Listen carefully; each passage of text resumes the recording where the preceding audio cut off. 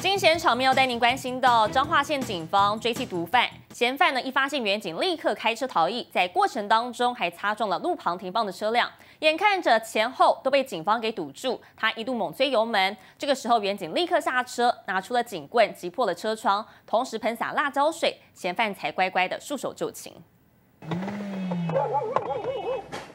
嫌犯一发现远景，立刻倒车想要绕跑，正巧被停放在后方的一台小轿车挡住。他油门一催，往前加速，想要做困兽之斗，不过前方去路早就被警方堵住。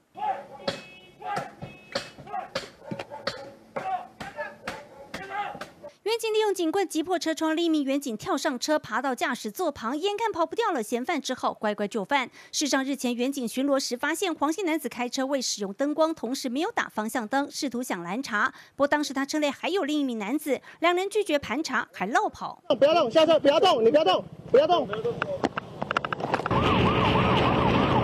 远警尾随追踪后，知道他是一名毒品人口，避免打草惊蛇。十七号持搜索票前往他的住处埋伏歹人。面对危险，警方果断地破窗，使用辣椒水制服，现场无人受伤。警方随后前往嫌犯住处，起出了海洛因、针筒、棒秤等吸毒工具，全案依毒品危害防治条例移送彰化地检署侦办。接待容貌，账号报道。